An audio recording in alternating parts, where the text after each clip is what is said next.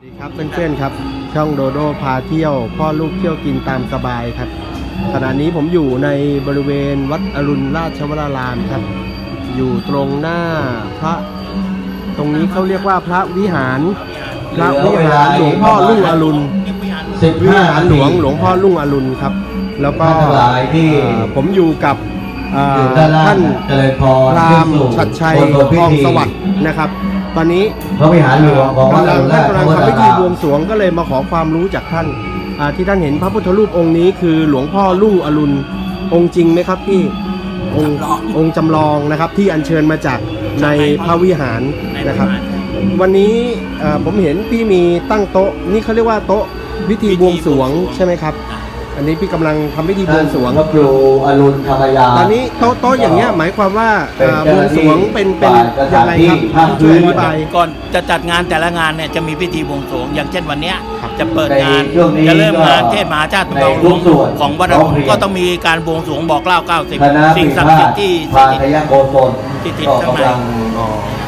ตอนนี้โต๊ะอันเนี้ยผมบางทีผมมาก็เป็นได้ชุดใหญ่ถวายแต่อันนี้เห็นแล้วเป็แต่นขนาแล้ดวแต่ย่อความมจะเป็นแล้วแต่ความจะเป็นของงาน อ๋อเล็กใหญ่อะไรอย่างอย่างนี้ชุดขนาดนี้เรียกว่าเอ่อชุดพอเหมาะสมกับการถวายสักการะไม่มากไม่น้อยครับครับ ประกอบด้วยอะไรบ้างครับบนโต๊ะนี้ก็เริ่มจากเอ่อศีรษะสุกรเป็ดไก่ อ่าพวกเครื่องชออ่าเครื่องหวานก็จะมีอ่าขนมต้มแดงต้มขาวคันเหลาหูช้าง นะครับพวกขนมไทยโบราณครับก็เอามาใส่แล้วก็ผลไม้ตามฤดูกาลมีใบสี มีเชิงเทียนกระถางทูบเป็นที่สักการะครับ เห็นดอกไม้นี่จำเป็นต้องเป็นสีเหลืองไหมครับอ๋อไม่จำเป็นครับแต่ไม่นี่จะจำเป็นจะ มันมาสื่อถึงความรุ่งเรืองเลยใช้ดอกเรืองมาดอกเรืองเยอะหอันน่อยนี้อันนี้ก็เป็นขนมเรียกอะไรต้มแดงต้มขาวต้มแดงต้มนี้ขาใช่วไหมคคัรับนเหลาหูช้างกันเหลาหูช้าง อ่ต้มแดงต้มขาวนี่เป็นขนมของเออเป็นของตำราที่กำหนดไว้ว่า อ๋อครับถ้าบุญมีประสงค์ต้องมีใบสีปากชามอ่ามีขนมต้มแดงต้มขาว ครับ แต่ทางกองงานเนี่ยได้เพิ่มคันเหลาหมายถึงความแหลมคม อ๋อ หูช้างนี่หมายถึงหูทิพย์ อ๋อครับ และขนมอันไหนเรียกว่าคันเหลาเรียกว่าหูช้างครับ อยู่ในนี้ต้องอยู่ในนี้หมดละครับ อยู่ในนี้ใช่ไหมฮะนี่อ่าฮะนี่คันเหลาหูช้างอยู่ในเป็นจานนี้ เป็นแบนๆนะครับ เป็นอ๋อแบนๆคล้ายๆหูช้าง อ่าแล้วก็แหลมๆเหมือนขนมอ่าเล็บมือนางของของบ้านเราเนี่ยแหละครับ แต่เป็นขาวล้วนกับ ต้มแดงต้มขาว อันนี้อันนี้อันนี้ต้มแดงต้มขาวใช่ไหมครับ อ่าแล้วต้มก็แดงเป็นต้มขาว ครับ อ่าต้องหยิบฝอยทอง ต้องหยิบต้องหยอดฝอยทองอ๋อทองหยิบทองหยอดจะมาเอาฝอยตังค์ทอใช่งไหมไม่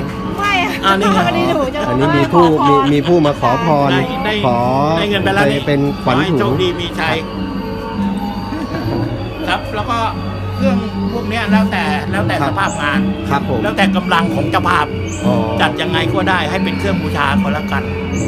เราซึ่ไม่งขอซึ่งเป็วันนี้เรียกว่าขนาดย่อมหน่อย ขนาดย่อมหน่อย ไม่ใช่ขนาดอย่างเต็มอ่าที่ไม่อย่างที่เคยที่เคยทำอย่างงานครับสงกรานต์อย่างงานอ่าพระเจ้าตากอันนั้นนั่นอลังแต่การก็ต้องมีครบ แต่ต้องครบฮะที่ว่ามีครบเนี่ยเครื่องคือชออ่าเครื่องหวาน เครื่องชอคือหัวหมูเป็ดไก่ครับ แล้วก็เครื่องหวานครับผลไม้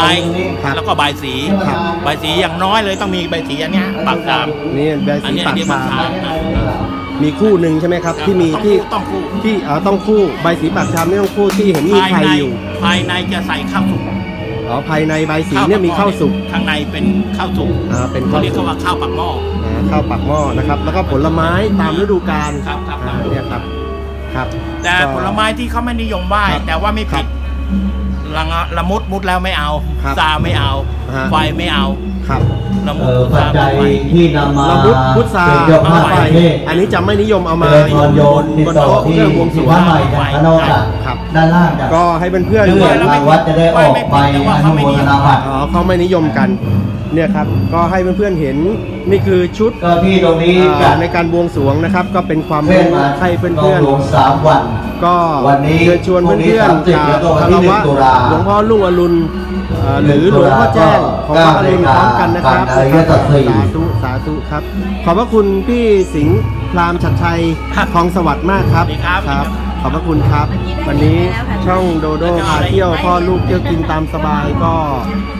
เอ่อ ให้เพื่อนๆได้เห็นชุดบวงสรวงได้ความรู้นะครับ อยู่บริเวณวัดอรุณครับ อยู่ด้านหลังองค์พระปรางวัดอรุณนะครับ ก็คงจะเท่านี้ครับ ขอบพระคุณที่ติดตามครับช่องโดโดพาเที่ยวพ่อลูกเที่ยวกินตามสบาย ฝากเพื่อนๆช่วยกดติดตามกด subscribe ด้วยนะครับ ขอบพระคุณครับ สวัสดีครับข้างบนเลยครับข้างบนข้างบนเลยครับ